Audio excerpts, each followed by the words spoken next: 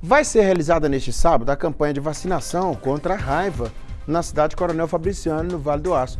Os pontos de imunização estarão abertos de meio-dia às 5 da tarde para vacinar cães e gatos. Marcos Leste tem detalhe. É levar o, o cão numa coleira e o gato na outra, né? Os dois juntos não, né, Marcos?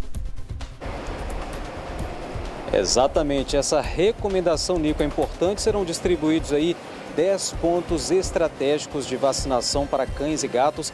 É a campanha de vacinação antirrábica em Coronel Fabriciano, conforme você disse, começa meio-dia e vai até às 5 da tarde.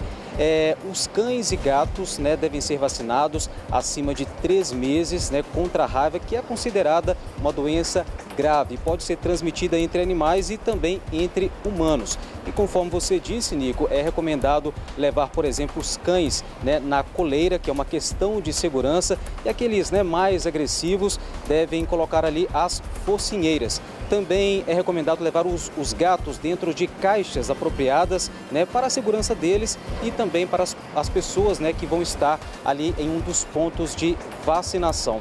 A campanha de vacinação antirrábica em Coronel Fabriciano é realizada neste sábado, de meio-dia às 5 da tarde, e quem não puder né, comparecer neste sábado, pode comparecer no próximo sábado, né, que vai ser no dia 26, nesses 10 pontos estratégicos também de vacinação.